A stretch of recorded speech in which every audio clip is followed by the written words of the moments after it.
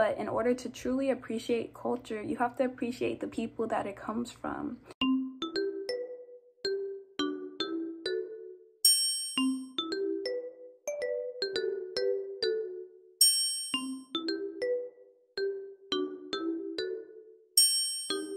Hi guys, Essence here. So, um, welcome back to my channel. Today I'll be making a more serious video talking about a topic that's very close to home for me. Um, I'll be talking about like being a black K-pop YouTuber. So as you guys all know, I started my channel off of my My Take videos where I talk about an issue in K-pop regardless of whether it's about like cultural appropriation or even fans bashing a member or even a scandal they're in, like a bullying scandal, for example. I give my take on that topic. However, I decided it was time to talk about why my My Take videos are always the hardest ones for me to film. So my My Take videos usually centered around calling out idols for, for things like cultural appropriation. Those are the ones that are the most popular for me. They're the ones that bring in the most views, that bring the most attention to my channel. However, they're also the ones that I hate filming the most. And here's why.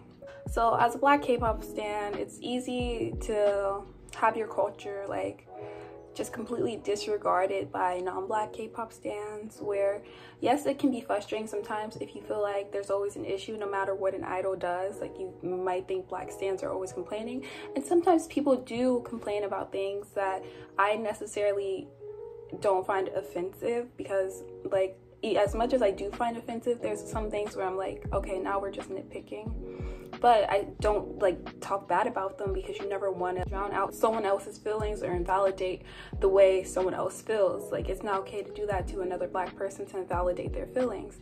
But recently I thought about how I haven't been making my take videos as much. My last one was about the ENHYPEN situation, I believe. Or was it Bangtan This Is America? It was one of those but my my take videos are usually my least favorite because of like all the verbal abuse that I receive for those videos like you guys thankfully I have a very strong mental look on things in this world and that I am very strong mentally like I don't let comments on YouTube really affect me that much. I just take them in stride. Like, I'm just like, you know, they're behind a computer. Would they say this to me in real life? Probably not. So I know I would keep the same energy, but other people may not you know so it is what it is to me. But other people may not like agree. Like when I, I, when i read certain malicious comments i think imagine if another young kid black kid saw this comment and how hurt they would be even if i'm not hurt which is why i respond back to a lot of these comments i receive. Because like yeah ignoring them is one thing but it's okay for me to ignore them, but another black person will see that comment and may be hurt by it. So that's why I try to respond to them or get rid of them, especially if they're like super, super out of pocket. I try to get rid of them because like I don't allow hate on my channel. When I give my my take videos, I never bash people. I never hate them. I never call them out of their names. Like I'm very respectful towards the idols even if they have hurt me.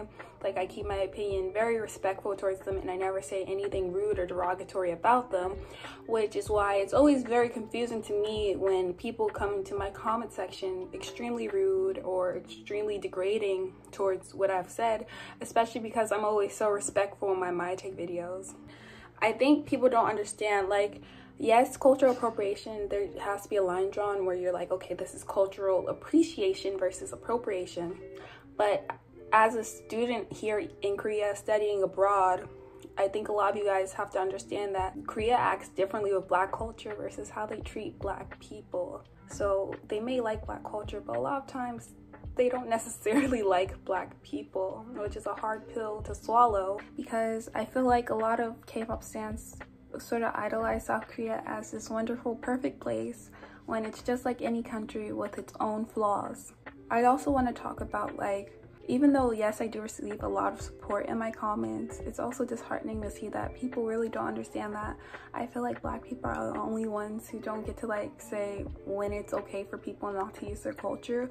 Yes culture is meant to be shared. I love seeing how hip-hop has spread around the world and i love seeing how other people have appreciated hip-hop but in order to truly appreciate culture you have to appreciate the people that it comes from it can't be fetishization and it can't be you appreciate our culture but no you don't really like us.